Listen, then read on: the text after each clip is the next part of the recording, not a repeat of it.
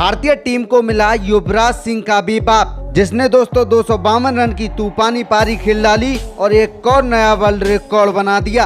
Guys आखिरकार आप भी जानना चाहते हैं इस बैंकर खिलाड़ी के बारे में तो इस वीडियो को लाइक कीजिए, साथ ही साथ चैनल को सब्सक्राइब करिए, बेल आइकन दबाइए और नोटिफिकेशन पर क्लिक करना बिल्कुल ना भूलें। दोस्तों, रणजी ट्रॉफी 2022 का दूसरा क्वालिफाई मुकाबला मुंबई और उत्तराखंड के बीच में खेला गया, जिसमें मुंबई की टीम ने पहली पारी में छह रन बनाए तो वहीं दूसरी पारी में दो सौ इकसठ रन बना दिए। जबकि दोस्तों मुंबई की ओर से सुवेद पारकर ने मात्र चार गेंदों का सामना करने के बाद 21 चौके और चार गगनचुम्बी छक्के की मदद से दो सौ बावन रन की विस्फोटक पारी खेल डाली। तो वहीं पाँचवें नंबर पर खेलने आए सरफराज खान ने एक रन की विस्फोटक पारी खेल डाली और इस तरीके से मुंबई की टीम ने 908 रन का पहाड़ जैसा स्कोर खड़ा कर दिया। जबकि उत्तराखंड की टीम को मुंबई की टीम ने 725 रन के बड़े अंतर से हरा दिया।